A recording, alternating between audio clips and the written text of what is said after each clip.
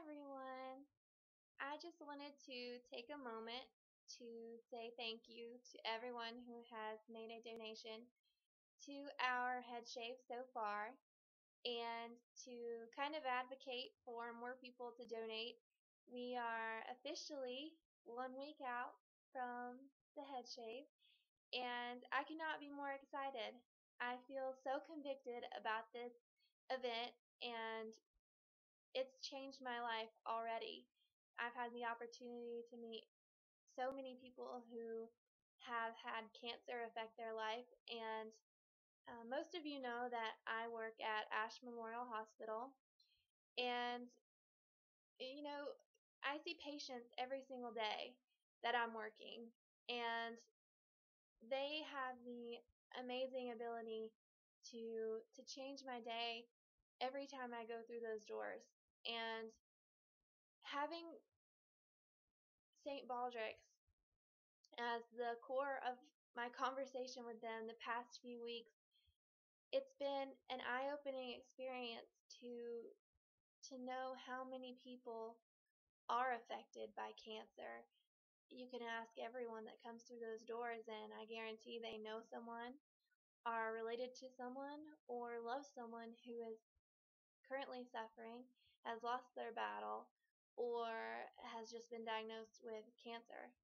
Um, or they're in remission and they've had cancer at some point in their lives. Um, and so St. Baldrick's Head Shave um, has given us the opportunity to, to reach out and to say, you know what, let's work through this together. Let's find a treatment. Let's find a cure.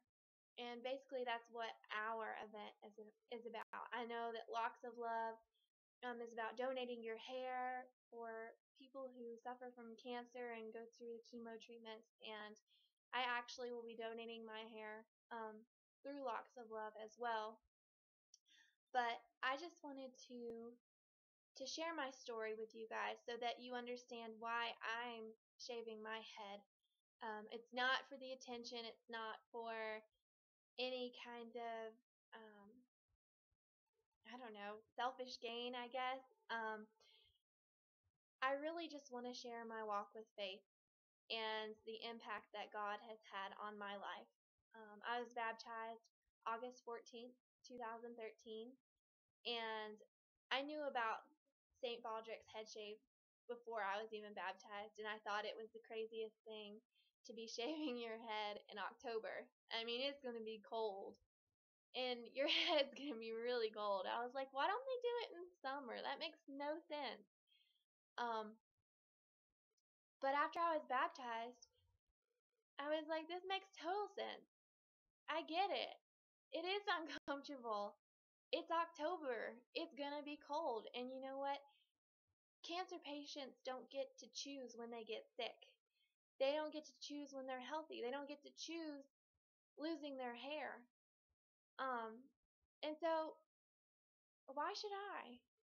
And, you know, I get the choice. I get the choice though to to make this decision to shave my head and you know what?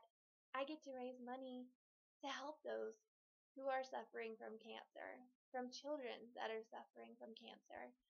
Um, you know, a lot of people don't really think about children's cancer research and its importance.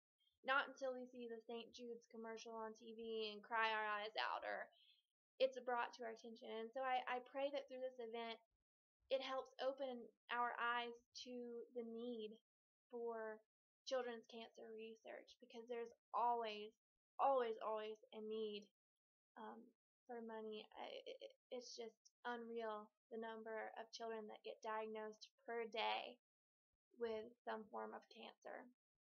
And um, I encourage all of you to go to YouTube, look up Talia Joy Castellano, and Zach Sobiech. Those two children that suffered from cancer will change your life. I promise. Just go look at their videos and if that doesn't inspire you to donate, I don't know what will.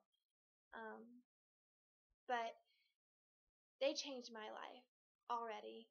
And I'm so blessed to have this opportunity to give back to them. and to all children who suffer. I mean, they are God's innocent ones, and and they suffer. And so I, I just I pray that you all find it in your heart to donate, even if it's a dollar, even if it's you know just a small small amount. Every every single bit matters, and just the fact that you participated is a huge step. And even if you don't donate, if you just share this page, if you get the word out and just help, that will just it would mean the world to me. And I know it would mean the world to everyone that is participating in this event. And I'm sorry that I ramble. I'm just I'm really passionate about this because it combines healthcare, children, you know, and my faith. It's it's just a beautiful thing that I hope everyone can be a part of. And if you have questions, if you just want to talk to me about it, um, anything, please. I know I just got back on Facebook, um, but please notify me. You know, message me. If you want my number to call me and talk to me about it, just let me know. I would love to talk to you about it. Um, but one scripture that has been in my heart from before I was baptized up until the day I was baptized and is in my heart every day since then is Jeremiah 29:11 and it says, I know the plans I have for you, declares the Lord, plans to prosper you and not to harm you, plans to give you hope and a future.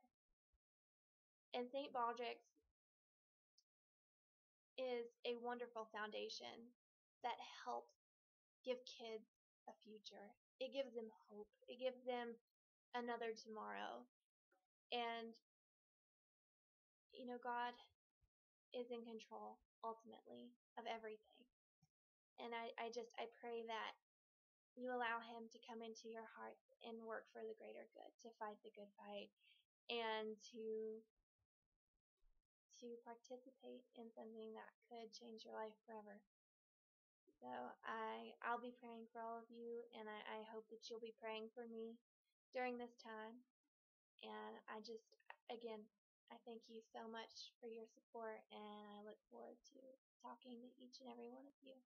I hope you guys have a blessed day and I just I thank you so much from the bottom of my heart.